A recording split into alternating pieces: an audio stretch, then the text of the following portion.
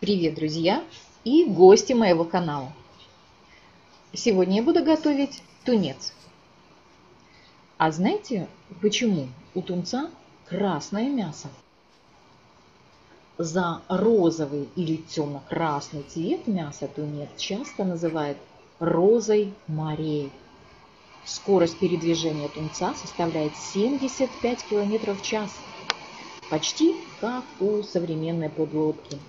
Такая высокая мышечная нагрузка способствует выработке миоглобина, который и окрашивает в красный цвет мясо.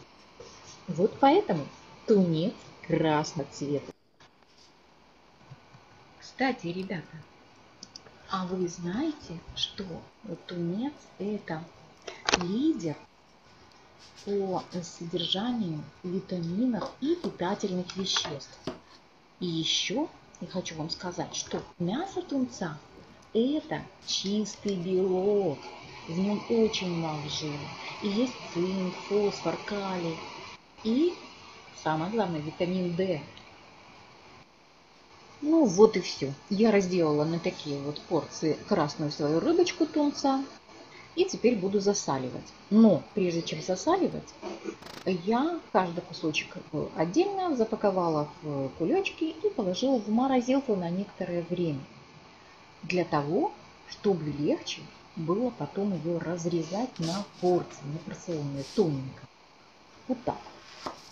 Она очень легко сейчас уже режется.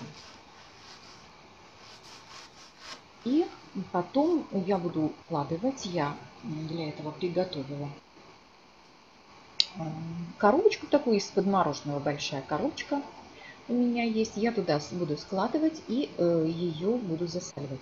А раствором я готовлю э, так вот.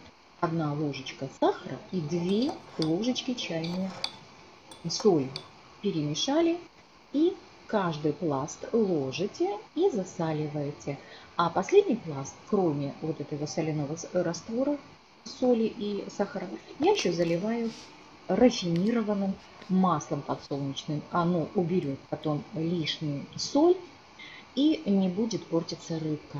И на следующее утро я сделала себе вот такие два огромных бутербродища с красной рыбкой и сделала себе кофе из кофемашины и наслаждалась.